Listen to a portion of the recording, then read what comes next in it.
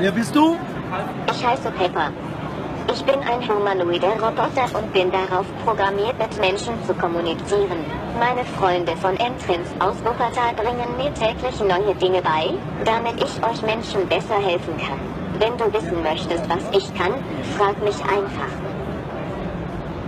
Sag, was du machst. Was kannst du?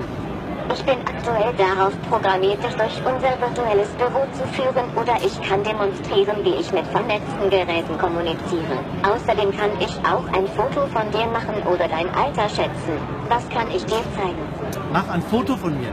Na sicher, bitte nicht bewegen. Es geht in drei Sekunden los. Drei, zwei, eins.